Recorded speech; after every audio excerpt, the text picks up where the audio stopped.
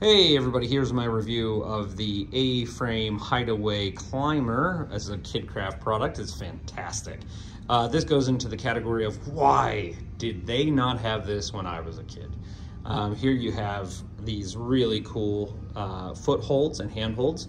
So if you have a you know, a new, you know, rock climber, you know, a little kid that, you know, wants to rock climb or, or maybe they're just really active you know, then this is this is for them, you know, and you can see they have they're perfect for the little little hands or little feet to be able to climb all the way to the top and then back down again.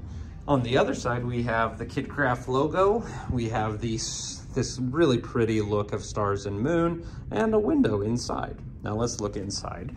We have the window curtains, uh, the Got the moon and the stars. Here, plenty of room curtains on both sides so you can slip right on through. So it can also be a tunnel. And, you know, plenty of room to eat your lunch, read a book, you know, with a little one, stuff like that.